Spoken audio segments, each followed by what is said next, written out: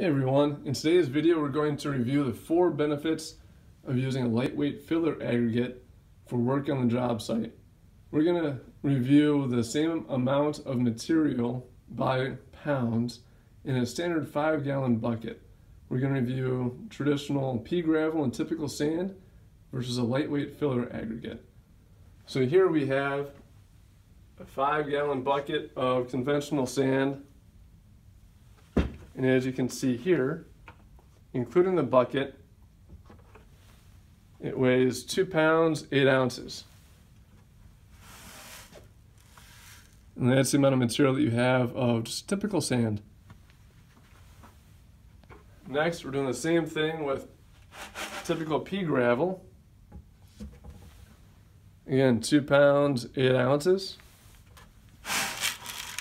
You can get about that much material of pea gravel.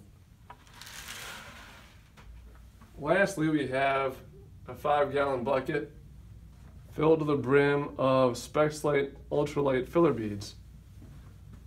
And that also is two pounds, eight ounces, but as you can see, it is absolutely full.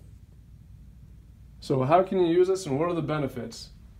One is if you want to have a very efficient fill, if you just have a lot of volume that needs to be filled at the job site, use Spexlite you get a lot more bang for your buck. Second benefit is you can decrease the weight in your formulated system. So if you add a little bit of Spexlite, it fills up a lot of volume and can substantially decrease the weight in your system. The third benefit is you can make material much more easy to transport for your workers on the job site. And lastly, you can save a lot of freight and transportation costs by having a lighter weight material that fills a lot more volume. The more volume you can fill on a truck, the less your transportation costs are for that job. The other benefit is Spexlite is non-dusty and does not contain free silica content.